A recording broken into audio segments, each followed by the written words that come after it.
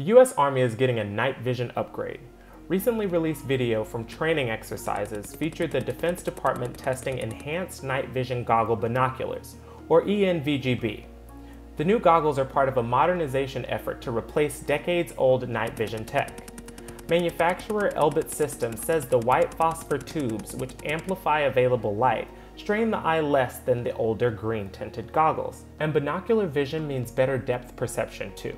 But the ENVGB's newest advancement is not white phosphor, which dates back to old TV tubes, but the addition of augmented reality, or AR. The Army's latest goggles include an outline mode, which creates glowing white outlines, drawing comparison to popular video games. The augmented reality piece is key. Soldiers of today, they're used to playing video games and having a lot of information in their field of view.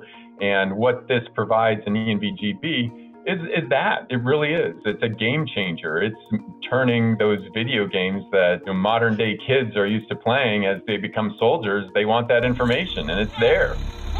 But more than maps or navigation instructions, operators can relay information wirelessly to others in the platoon, adjust brightness during daylight hours, and even swap or combine low light images with thermal images, revealing obscured objects or potential threats.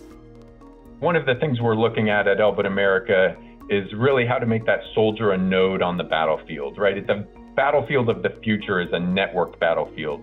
So we're looking at how we can not just include augmented reality, but how can we expand beyond that? Operates completely independently within my field of view. How can we take live video um, from other assets on the battlefield, provide that information to the soldier, provide that soldier information, video, and communicate that back to another unit or to command to help with better and more effective decision making.